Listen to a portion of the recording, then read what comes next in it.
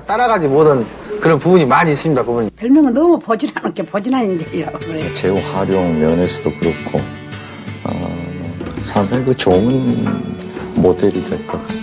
어쩔 때는요 착한 아저씨 되고 어쩔 때는요 우산 고치는 아저씨 어쩔 때는요 무서운 아저씨 돼요 아이에서부터 어른까지 글을 모르는 사람은 없습니다.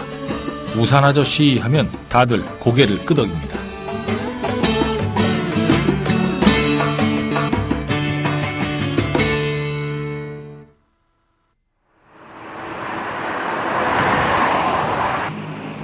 전라남도의 아름다운 항구 도시 목포. 이곳 시청 수도 시설과의 8급 공무원 김경식 씨는 공무원 생활 23년을 합쳐 수도 고치는 일만 40년 가까이 해온 백전 노장입니다. 수도 민원이 들어왔다 하면 우리는 24시간 대기를 하고 있습니다. 그래갖고 불철주야 그거 나가갖고 불편 않게끔 우리가 직접 나가서 수리를 합니다. 수도관에 문제가 생기면 어디든 달려가는 그는 한겨울에도 맨손일 때가 허다합니다. 마른 신발 한 번 마음 편하게 신어볼 새도 없는 삶이었습니다. 퇴근 무렵 그의 또 다른 일이 시작됩니다. 목포 저녁을 거짐 돌듣기 합니다. 아, 우산도 뭐 쓸만도 나오고 저 장난감도 간혹 쓸만한 거 나옵니다.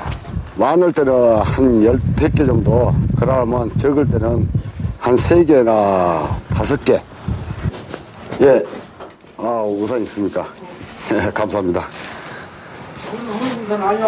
와 인형도 있고 얘들 밀거는 좋건데요. 예. 이러면 아주 좋은데 여기 우산 주인도 저 여가 뿌려잡았는데 이놈도 어쩌고 고쳐보려고 했습니다. 노, 노력했습니다. 예, 너 이렇게 저 필요하면 말씀해 주세요. 그를 위해 버려진 물건들을 모아놓은 이들 덕분에 오늘은 뜻밖의 수확이 컸습니다.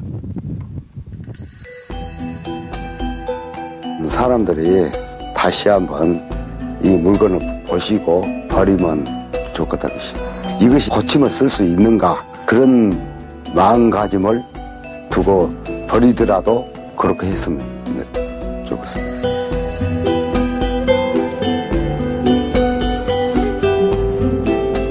다른 사람들의 눈에는 더 이상 쓸모없는 쓰레기일지라도 그에게는 아직 목숨이 남은 물건들입니다.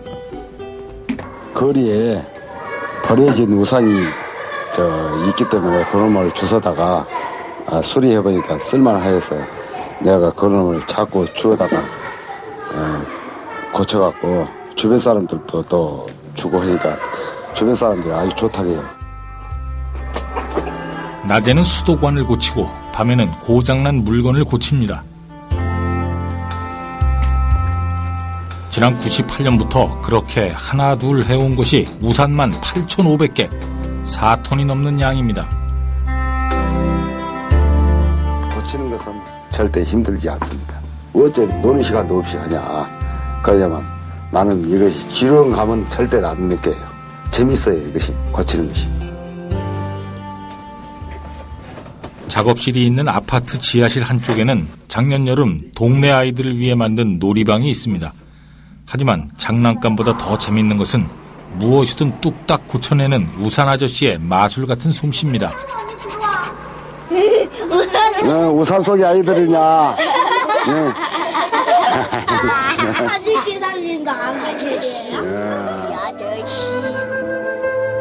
일 나갔다 들어오면 저서 오면 얘들이 아이씨 우산 아씨 온다고 막 달려오고 그래서 이제 저 우산 수리하면서 얘들이 노는 장면도 보고 너엇을 고쳐주라면 고쳐주고. 안 아파 안 아파. 괜찮아 괜찮아. 일어나. 일어나. 괜찮아. 어, 집에서는 얘들하고 친구냐? 응, 어른들하고 같이 놀지. 어, 나는 얘들이 좋은데요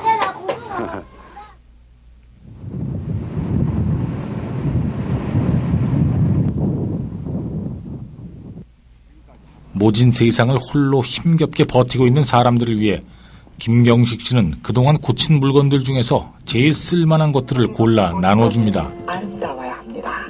제가 이런 거 고쳐갖고 주면 사람들이 쓰고 다닌 것을 본 게 상당히 감에 기쁘고 상당히 흐뭇합니다. 따뜻해지라. 그렇고 머리에 사 간지럽지라. 예. 하지만 생각지도 않았던 선물보다 더 반가운 것은 그 속에 담긴 그의 따뜻한 정성입니다. 마구 버리고 새 것만 선호하는 것은 제가 마음이 굉장히 아픕니다. 안 사게끔 다시 고쳐서 쓰면 상당히 좋을 텐데 사람들이 조금 생각을 다시 해봐야겠다 나는 그런 마음이 듭니다. 우산 아저씨의 손길에 버려진 물건도 외로운 마음도 새로운 생명을 얻습니다.